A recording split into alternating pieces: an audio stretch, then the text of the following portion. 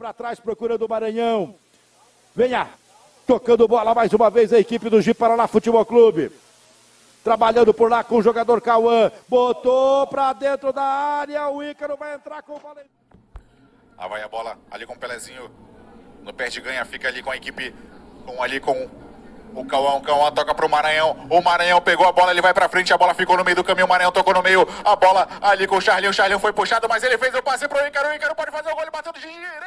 Vem com o Maranhão. Maranhão pisou na bola, tocou com o Cauã. Cauã deu drible, vai passar. Ele tocou pro Maranhão. Maranhão tem liberdade. Abriu ali no Vitinho. O Vitinho pode fazer o cruzamento. Cruzou. O Adriano muito forte. O Adriano não chegou. O goleiro saiu. Cauã. Domina, faz abertura.